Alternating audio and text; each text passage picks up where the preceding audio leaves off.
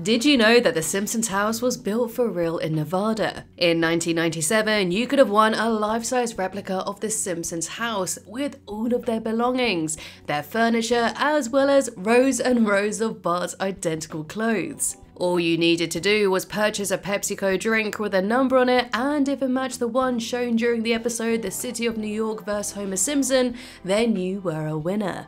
But unfortunately, no one claimed the prize, so the house was repainted beige and it was almost lost and forgotten, the only remnant of its history being a concrete drawing by Matt Groening.